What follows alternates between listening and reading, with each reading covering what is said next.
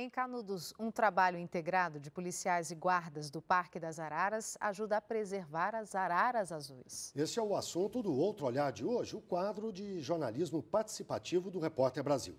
A produção é do Beabá do Cinema Nacional e Infinito.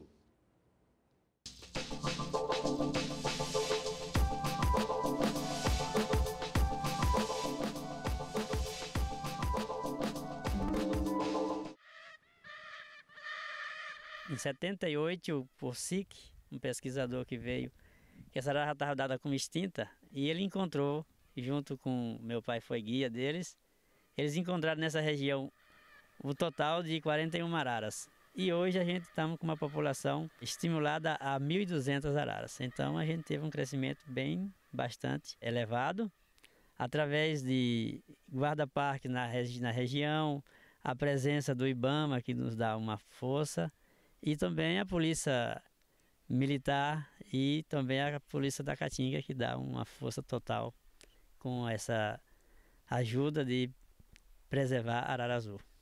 Ah, os atos da arara azul são esses. É, voam às 5h10 às 5h15 da manhã para a área de alimentação e retornam por volta das 5h30 às 6 horas da tarde. É, o principal alimento da arara azul é o coquinho de licuri, e não tendo, não encontrando licuri, elas comem outras frutas que existem na região. Ela é uma, uma espécie muito arisca que ela se assusta um pouco com a presença do ser humano. Aí elas sempre ficam distantes.